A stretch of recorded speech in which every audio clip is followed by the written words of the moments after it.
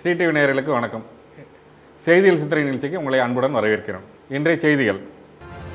நக்சல் பயங்கரவாதத்தை ஆதரித்தும் பாதுகாப்பு படையினரை களங்கப்படுத்தியும் அருந்ததராய் எழுதிய புத்தகத்தை மீண்டும் பாடத்திட்டத்தில் சேர்க்க வேண்டும் என்று கம்யூனிஸ்ட் மாணவர் அமைப்பான எஸ்எஃப்ஐ போராட்டம். தடுப்பூசி சாத்தானின் அடையாளத்தை கொண்டுள்ளது. கொரோனா தடுப்பூசிக்கு எதிராக ஏஞ்சல் டிவி பிரச்சாரம். பழனி தண்டாயுதபாணி திருக்கோவிலுக்கு அறங்காவலர் நியமிப்பது குறித்து அரசு பதிலளிக்க நீதிமன்றம் உத்தரவு. உலக நாடுகளுக்கு சீனாவால் ஆபத்து அமெரிக்கா அறிக்கை. தொழில்நுட்பத்திற்கு முக்கியத்துவம் என்பதே எங்கள் நிர்வாக மாதிரி. பிரதமர் மோடி பேச்சு. இன்றைய செய்தியில் சிந்தனை குறித்து திரு நம்பினாரன் அவர்களுடன் விவாதிப்போம். வணக்கம் திரு. வணக்கம் பாண்டிகுமார் சொல்லுங்க. நெல்லை மனோன்மணி சுந்தரனார் பல்கலைக்கழக பாடப்புத்தகத்தில் அருந்ததிராய் எழுதிய வாக்கிங் வித் காம்ரேட் என்ற புத்தகத்தை பாடப்புத்தகத்தில் நீக்கியதற்கு மீண்டும் சேர்க்க வேண்டும் என்று கம்யூனிஸ்ட் மாணவர் அமைப்பான எஸ்எஃப்ஐ இன்று நேற்று போராட்டம் பண்ணியிருக்காங்க. இது தொடர்பாக மனு பல்கலைக்கழக வேந்தர்கிட்ட கொடுத்துருக்காங்க. அதாவது ஒரு புத்தகம் இந்திய நாட்டின் இறையாண்மைக்கு எதிராக எழுதப்பட்ட புத்தகம். அதில் அந்த நக்சல்ஸை குளோரிஃபை பண்ணி இந்திய இராணுவத்தை மட்டமாக எழுதப்பட்ட ஒன்று. அது மட்டும் இல்லை அந்த புத்தகத்தில் ஏன் மன்மோகன் சிங்கை வந்து பிரதமராக்கினாங்க? ஏன் காங்கிரஸ் கட்சி மன்மோகன் சிங்கை பிரதமராக்குவதற்கு ஒப்புக்கொண்டது? என்ன ப்ரெஷர் இருந்தது? அந்த தலையாட்டி பொம்மையை ஏன் சோனியா ஆரம்பித்தா ஏன் உலக நாடுகளுடைய வலியுறுத்தல் ஏன் மன்மோகன் சிங் இருந்தது? இது எல்லாமே வந்து ஒரு நாட்டினுடைய அதாவது நிச்சயமாக காங்கிரஸ் கட்சியை நாம் ஆதரிக்க போகிறதில்ல. நமக்கும் அதில் எந்த சந்தேகமும் கிடையாது. சோனியா என்பவர் இந்த நாட்டு நலக்குனுக்கு உகந்தவர் இல்லை என்பதோ மன்மோகன் சிங் ஒரு பொம்மையாக இருந்தார் என்பதோ நமக்கு மாற்று கருத்து கிடையாது. ஆனால் ஒரு நாட்டை ஒரு அரசியல் கட்சியை குறை சொல்வதாக பாடம் காட்டிவிட்டு ஒரு நாட்டை குறை சொல்லி அந்த தேசத்தின் இராணுவத்தை குறை சொல்லி அந்த தேசம் எதிர்கொள்ளக்கூடிய பிரச்சனைகளை நியாயப்படுத்தி அதை இராணுவத்திற்கு எதிராக சித்தரித்து நக்சல்களுக்கு ஆதரவாக சித்தரித்த ஒரு புத்தகம் என்பது தேசவிரோத புத்தகமாகத்தான் இருக்கணும். ஆனால் ஜனநாயகம் என்பற இந்த நாட்டில் இருக்கிறதுனால இந்த புத்தகங்களெல்லாம் இன்னும் உலா வந்து கொண்டு இருக்கிறது நாம் புத்தகத்தை ஒன்றும் நாம் தடுக்கலை. இதே நாட்டில் சல்மான் குர்ஷியினுடைய புத்தகத்தை நாம் தடை செய்கிறோம். இதே நாட்டில் டாவின்சி கோடை நாம் தடை செய்கிறோம். இஸ்லாத்துக்கு எதிராக ஒன்று வந்தால் தடை செய்கிறோம். கிறிஸ்தவத்துக்கு எதிராக ஒன்று வந்தால் தடை செய்கிறோம். ஒட்டுமொத்த நாட்டு மக்களுக்கு எதிராக வரும்போது அதை இந்த கம்யூனிஸ்ட் பார்வையில் நம்ம தடுக்கலை. ஆனால் தடுத்திருக்கணும் என்னை கேட்டால் அதையும் தடை பண்ணியிருக்கணும் ஆனால் கருத்து சுதந்திரம்னு வரக்கூடிய ஒரு புத்தகத்தை அது சந்தையில் இருந்தால் பரவாயில்ல அதை போய் பாடத்திட்டத்தில் வைத்து விட்டு பாடத்திட்டத்தில் வைத்த பிறகு நாம் அடையாளம் கண்டு அதை எடுத்த பிறகு அதை வைக்கணும்னு போராட்டம் செய்கிறார்கள் என்றால் நிச்சயமாக இந்த எஸ்எஃப்ஐ என்று சொல்லக்கூடிய ஸ்டூடெண்ட்ஸ் ஃபெடரேஷன் ஆஃப் இந்தியா அது students federation of anti India என்று பெயர் வைக்கணும். அது ஸ்டூடெண்ட்ஸ் ஃபெடரேஷன் ஆஃப் இந்தியா கிடையாது. ஏன்னா இந்திய எதிர்ப்பு கருத்தை தானே சொல்கிறது students federation of anti India என்று தான் அவர்களை நான் சொல்லுவேன். இது முதல் விஷயம். ரெண்டாவது மாணவர்களுக்கு சிலபஸில் வைக்கிறாங்க. அந்த அகடமிக் சிலபஸில் இப்போ ஒரு யூனிவர்சிட்டியும் வைக்கிறாங்க. இப்போ அருந்ததி ராய் சொல்கிறாங்க அது வச்சதும் தெரியாது எடுக்கப்பட்டதும் எனக்கு தெரியாது. ஆனால் எடுக்கப்பட்டது துரதிர்ஷ்டம் வச்சதை ஆதரிக்கிறேன்னு சொல்கிறாங்க இப்போ பிரச்சனை என்னென்னா எடுத்துட்டாங்க. எதுக்காக எடுத்துட்டாங்க? தேசத்துக்கு எதிராக சொன்னதுனால. அதானே காரணம்? இதில் இது என்ன சொல்லியிருக்காங்கன்னா பல்கலைக்கழகம். இதை பதினஞ்சு நாளில் நாங்கள் பரிசீலனை பண்ணுறோம்னு வேறு சொல்லியிருக்காங்க. இல்லை ஒரு போராட்டம்னா வந்தால் அப்படி தாங்க சொல்லுவாங்க. பரிசீலனை பண்ணுறாங்களா பண்ண முடியாது. அது ப பல்கலைக்கழகத்தினுடைய நிர்வாகத்தினுடைய ஆண்மையை பொறுத்தது. ஆனால் தெளிவான காரணங்களுக்காக எடுத்துக்கப்பட்ட பிறகும் கூட அதை வைக்கணும்னு போராடுறாங்கன்னா இந்த கல்வித்துறையில் இந்த நக்சல்களுடைய பாதிக்கவே எவ்வளவு இருந்ததுங்கிறது இப்போ ஜேஎன்யூவில் ஒரு விவேகானந்தர் சிலையவே வைக்க விடலை உடைச்சாங்க இன்றைக்கி வச்சுருக்கோம். ஜேஎன்யூவில் இருந்து கொண்டு தனி காஷ்மீரத்துக்கு கோஷம் போட்டிருக்காங்க. அதெல்லாம் பார்த்தோம் நம்ம. எல்லா இடத்துலையும் ஹைதராபாத் யூனிவர்சிட்டியில் பார்த்தோம் ஓஸ்மானியாவில் பார்த்தோம் ஜாமியாவில் பார்த்தோம் ஜேஎன்யூவில் பார்த்தோம். எல்லா பல்கலைக்கழகங்களுமே நக்சல் கூடாரமாகத்தான். இதை இந்தியாவில் மட்டும் இல்லை நீங்கள் இவர் டோனி பிளேயர் இருக்கும்போது இங்கிலாந்தை பற்றி சொல்லும்போது சொல்கிறார் இந்த அகாடமிக் இன்ஸ்டிடியூஷன்ஸ் எல்லாம் கம்யூனிஸ்ட் கையில் இருக்குன்னு. இங்கே இல்லை. மிகப்பெரிய ஜனநாயக நாடு இங்கிலாந்தில் அதான் பிரச்சனை. அமெரிக்காவில் அதான் பிரச்சனை. பார்த்து இனிமேல் கம்யூனிஸ்ட் காரத்துக்காரனா உள்ளுக்குள்ளே கொடுக்காதன்ட்டான். சிட்டிசன்ஷிப்பே கொடுக்காதன்னு சொல்கிற அளவுக்கு ட்ரம்ப் போக வேண்டி இருந்தது எந்த நாட்டுக்கும் இவர்கள் விசுவாசமாக இருந்ததில்லை. கம்யூனிஸ்ட் நாட்டில் இருப்பாங்களான்னா கம்யூனிஸ்ட் கட்சிக்கு விசுவாசமாக இருப்பாங்க. அடிமையாக இருப்பாங்களே தவிர இந்த இவங்களுக்கு எதுவும் இருக்காது. ஆகையினால இந்த புத்தகம் நீக்கப்பட்டது சரி. மனோன்மணியம் யூனிவர்சிட்டி இனிமே இந்த புத்தகத்தை அங்கே வைக்கக்கூடாது. அது மட்டுமல்ல இது போன்ற புத்தகங்கள் இனி இந்தியா வந்து கொஞ்சம் எச்சரிக்கையாக இருக்கணும்னு நினைக்கிறேன். நீங்கள் வந்து டான் ப்ரௌனை தடை செய்ய முடியுமானால் ச- சல்மான் குர்ஷ்டியை தடை பண்ணிய முடியுமானால் அருந்ததி ராயன் தடை பண்ணிட்டு போகிறான் தப்பு கிடையாது. இப்படி ஒரு சுதந்திரம் இந்த நாட்டினுடைய இராணுவத்தை கேள்வி கேட்கும் ஒரு சுதந்திரம் நமக்கு தேவையில்லை என்பதுதான் என்னுடைய கருத்து. அதனால் குறைந்தபட்சம் அகடமிக் இன்ஸ்டியூஷன் இந்த பாலிட்டிக்ஸில் மாட்டிக்காமல் இருக்கணும். மனோன்மணியம் யூனிவர்சிட்டி இந்த பாலிட்டிக்ஸை உள்ளே விடாமல் அகடமிக் இன்ஸ்டிடியூஷனில் அகடமிக் சிலபஸில் நீங்கள் பாடத்தை சொல்லிக் கொடுங்க. இங்கிலீஷ் லிட்ரேச்சர் தானே? ஆமாம் லிட்ரேச்சரில் சொல்லிக் கொடுங்க. எதுக்கு வந்து நாட்டுக்கு நக்சல் தேவையா இறையாண்மை தேவையா இந்த பிரச்சனை உங்களுக்கு எதுக்கு? லிட்ரேச்சர் கொட்டி கிடக்குது. அதை சொல்லிக் கொடுங்க.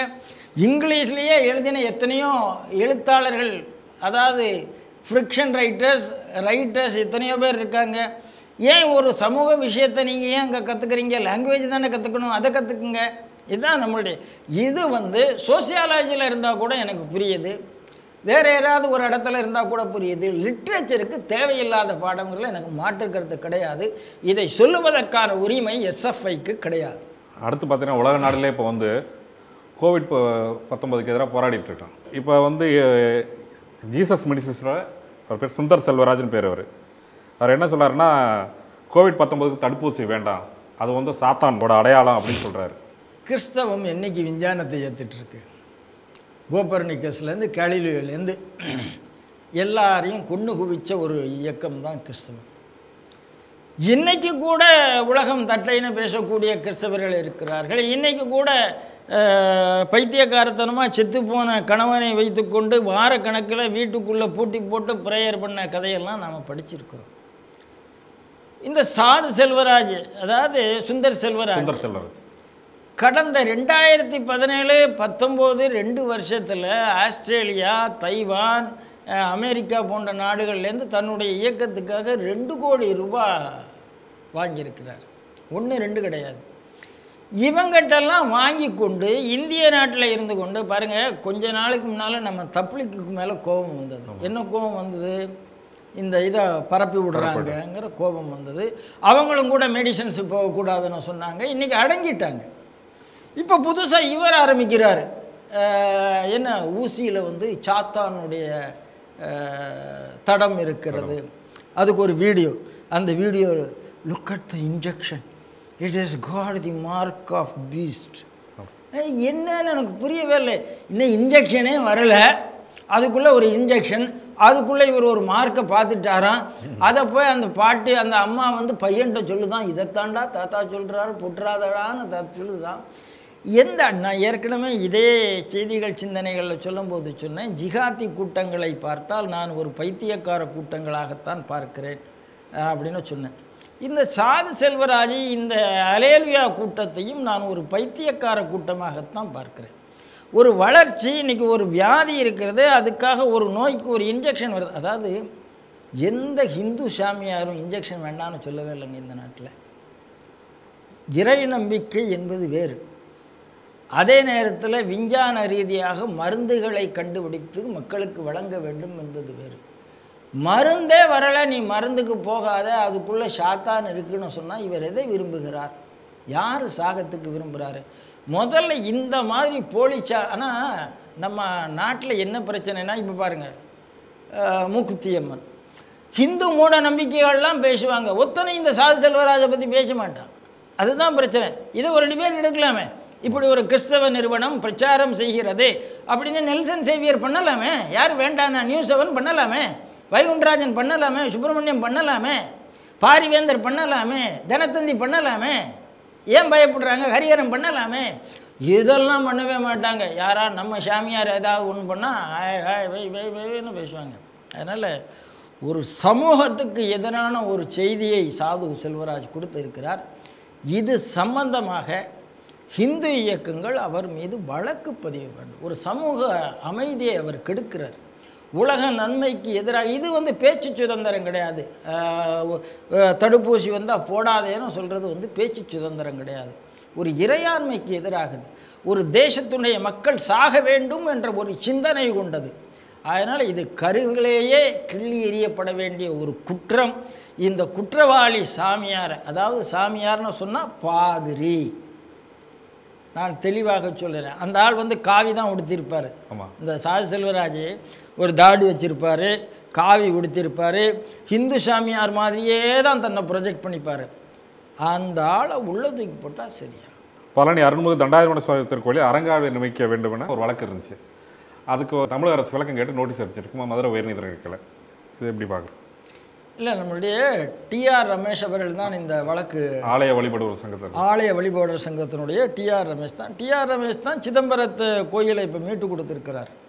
இப்போ கள்ளக்குறிச்சி விஷயத்தில் எல்லா இடத்துலையும் அவருடைய ஒரு விஷயம் இந்த ஹிந்து கோயில் பாதுகாப்பில் நமக்கு சில கருத்து வேறுபாடுகள் இருக்கலாம். எக்ஸ்ட்ரீம் லெவலுக்கு அவங்க போய் சில விமர்சனங்கள் பண்ணலாம் ஆளக்கூடிய கட்சிகளை கூட பண்ணலாம். ஹிந்தி இயக்கங்களை கூட பண்ணலாம். ஆனால் அவருடைய வேலை அற்புதமான வேலைங்கிறத நம்ம பாராட்டி ஆகணும். அவங்களுக்குள்ள கோபத்தில் அவங்க எதுனாலும் பேசிட்டு போகிறாங்க இருக்கட்டும். ஆனால் ரெண்டாயிரத்தி பதினொன்னுலேருந்து ஒரு கோயிலுக்கு அறங்காவலர் குழு இல்லை. செயல் அலுவலர் வந்து தக்காராக இருக்கார்.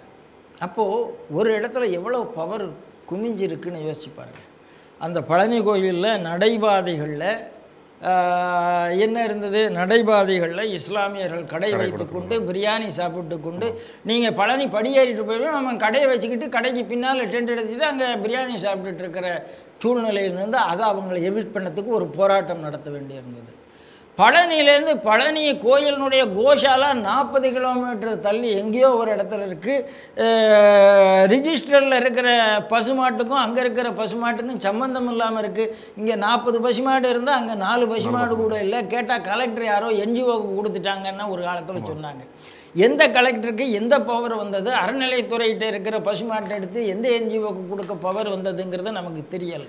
இல்லை இது இதெல்லாம் ரெண்டாயிரத்தி பதினொன்றுல இருந்து அரங்காவலர் இல்லை. போடவே இல்லை. ரெண்டாயிரத்தி ப அப்போது இன்னொரு விஷயம் என்ன சுட்டி காட்டிருக்கிறாங்கன்னா நூறு கோடி வருமானம். ஆக்சுவலாக பெர் ஆனம் டிரான்சாக்ஷன் என்பது எனக்கு தெரிந்து முந்நூறு கோடி ரூபாய். வருமானம் மட்டுமே நூறு கோடி ரூபாய். அதாவது ஒரு பெரிய லிக்விடிட்டி எக்கனாமிக் லிக்விடிட்டி பொருளாதார பரிவர்த்தனையினுடைய மையம் டெம்பிள் எக்கனாமின்னு சொல்கிறோம்ல ஒரு பஞ்சாமிரதத்தினுடைய டெம்பிள் எக்கனாமிங்கிறது ஒரு பெரிய டெம்பிள் எக்கனாமி இருக்கிற இடம். ஆனால் அந்த பணத்தை எல்லாம் ஒரு அரசு அதிகாரி சுருட்டி கொண்டிருக்கிறார். கோயில் சொத்துக்களை சுருட்டுகிறார். கோயிலுக்குள்ளே போயிட்டு இறங்கி வரக்கூடிய பக்தர்கள்ட்ட அப்படியே அண்டர்வரில் இருக்கிற பணத்தெல்லாம் உறிஞ்சி எடுத்துடுறாங்க. இதெல்லாம் ஏன்? இதெல்லாம் செயலாளர் என்ன பண்ணிட்டு இருக்கிறார்? ஏன் அறங்காவலர் குழு இல்லை? அறங்காவல் அதாவது அரை நம்மளுடைய அறநிலைத்துறையே கூட சொத்தை பாதுகாக்கிறதுக்கு தானே? அதுக்கு ஒரு குழு வைக்கணுமா இல்லையா? ஏன் ஸ்ரீரங்கம் கோயிலுக்கு நம்ம வேணுகோபால வேணு சீனிவாசன் எதிர்ப்புலாம் வரத்தான் செய்யும். வர எல்லா கோயில்களுக்கும் அறங்காவலர் குழு இருக்கிறாங்க. ஆனால் தக்கார்ன ஒரு சமுதாயத்திலிருந்து சிலரை போடாமல் ஒரு செயல் இவ்வளவு பணம் கொடுத்து அவங்க என்ன பண்ணுறாங்க அந்த காசுக்கு கார் வாங்குறாங்க அந்த காசுக்கு உல்லாசமாக சுற்றுறாங்க நம்ம நிறைய கேஸை பார்த்துட்டோமே. அதனால் நான் கடந்த நான்கைந்து ஆண்டுகள் நிகழ்ச்சிகளாகவே செய்திகள் சிந்தனைகளில் சொல்லிகிட்ருக்கேன் நீதித்துறை இந்த விஷயத்தில் பாராட்டப்பட வேண்டும்னு இப்போ அறநிலைத்துறை அந்த இடத்துல ஒரு அறங்காவலர் குழு அமைத்தே ஆக வேண்டும். பெரியவர்கள் நிறைய பேர் இருக்காங்க. இதை பண்ணாமல் பண்ணுறதுங்கிறது கொள்ளைக்கு இந்த அரசாங்கம் உடன் போகிறதுன்னு தான் அர்த்தம். ரமேஷ் அதிக தரவுகளை கொடுப்பேன் வெற்றி பெறுவேன் என்று சொல்லியிருக்கிறார். அவருக்கு நம்முடைய ஸ்ரீ டிவியினுடைய சார்பில் வாழ்த்துக்களை தெரிவித்துக் கொள்கிறோம். உலக நாடுகள் சீனாவால் ஆபத்துன்று அமெரிக்கா அறிக்கை விட்டிருக்காங்க. அதில் வந்து இந்தியா வளர்ந்து வருவதால் சீனாவுக்கு ஒரு எரிச்சல் ஏற்படுகிறது. ரீசெண்டாக டோக்லாம் எல்லை பிரச்சனை இந்த வரிசையாக இருக்குது இது வந்து அமெரிக்க வெளியுறவுத்துறை இந்த இந்த அறிக்கை வெளியிட்டிருக்காங்க. எனக்கு இதில் ரொம்ப சந்தோஷம் இருக்குது அதாவது அமெரிக்க விளைவித்து தெரிந்த ஒரு எழுபது பேர் நிபுணர் குழு ஒரு ஃபாரின் அஃபேர்ஸ் பேப்பர் ரிலீஸ் பண்ணி அதில் இதில் என்ன சொல்லியிருக்காங்கன்னா இந்தியா வளர்ந்து வருவதால் சைனா அதை வந்து எச்சரிக்கையாக பார்க்கறது இந்தியாவோ ஜப்பானோ ஆஸ்திரேலியாவோ வளருவதை சீனா விரும்பவில்லை. இன்னும் பல விஷயத்தை சுட்டுக்காட்டி ஆகையினால தான் இந்த இடத்துலலாம் அவங்க எல்லை பிரச்சனை பண்ணுறாங்க தைவான்லேருந்து எல்லாத்தையும் சொல்லியிருக்கிறாங்க. என்ன எண்ணம் இருந்ததுன்னா ட்ரம்ப் போய் ஜோ பைடன் வந்த உடனே சீனா எதிர்ப்பு கைவிட்டு போகும். ஜோ பைடன் வந்த உடனே இந்தியாவுக்கு எதிரான நிலையை அவர் எடுத்து விடுவார்.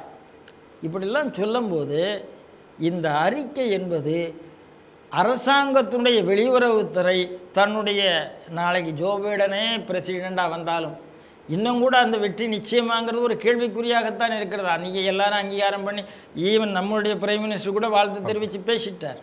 ம் பிரசிடென்ட் எலெக்ட் என்று சொல்லுகிறார்கள். பிரசிடெண்ட் எலெக்ட் என்று இன்னும் முடிவாகவில்லை.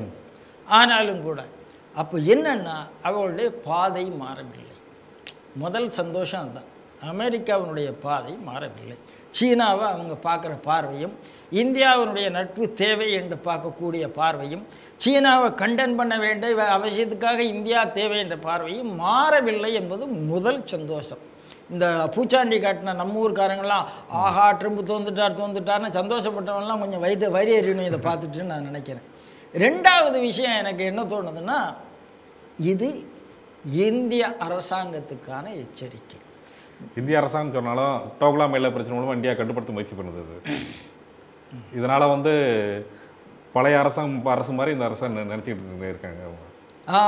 அதே தான் அப்படி நினச்சி தாங்க டோக்லாமில் பண்ணாங்க. ரெண்டாயிரத்தி பதினேழில் பண்ணாங்க வாங்கி கட்டினாங்க. இப்போ ரெண்டாயிரத்தி இருபது எலெக்ஷனுக்கு அப்புறம் இப்போ பண்ணினாங்க வாங்கி கட்டி இருக்கிறாங்க அவங்க என்னென்னா என்றைக்குமே ஒரு லாஜிக் என்ன சொல்லுவாங்கன்னா டெரரிஸ்ட் வந்து நூறு ஸ்ட்ரைக் பண்ணி தொண்ணூத்தொம்போது தோல்வி அடைஞ்ச ஒன்று ஜெயித்தாலும் பெரிய வெற்றி தான்.